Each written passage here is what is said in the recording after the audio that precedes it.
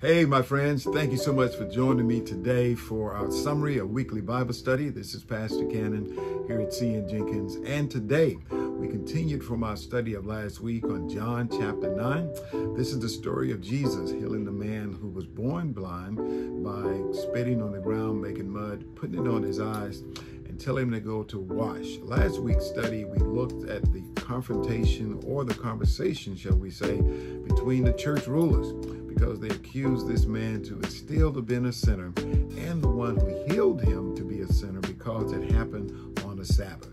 Of course, we talked about the rules of the church, old school and new school rules of things that are prohibited on the Sabbath. And we do also know that the Sabbath was made for humans, not humans for the Sabbath, meaning that God really wants us to have a special time of praise, worship, a concentration on His Word. Today's study, y'all, was about the encounter of the blind man once he could see and he finally saw Jesus. Jesus raised a question that's basically saying, Now do you believe? Do you believe in the one who healed you? And the brother says, Look, I didn't know who healed me. All I know, I was blind, but now I see.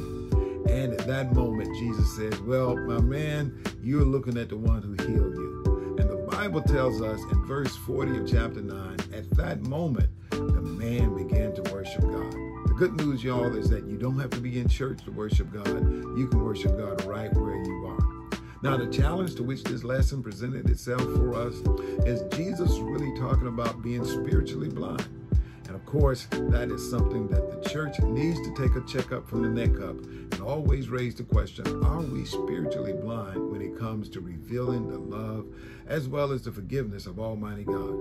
So, friends, I invite you to turn in your Bible, spend some time with it. John chapter 9, it's the story of Jesus healing the blind man. If you want a copy of the Bible study, don't forget to go to www.cnjenkins.org and you can get all the notes for the day's study as well as join us next week. Next week as we continue our work through the book of John. Thank you again. This is Pastor Cannon. And don't forget, if you're looking for a place where you can grow in the Lord, we want you to be a part of C.N. Jenkins. So call the church, email me, email Pastor Lanson, go to the website. We will connect you to a body of Christ that really loves and cares about your spiritual growth.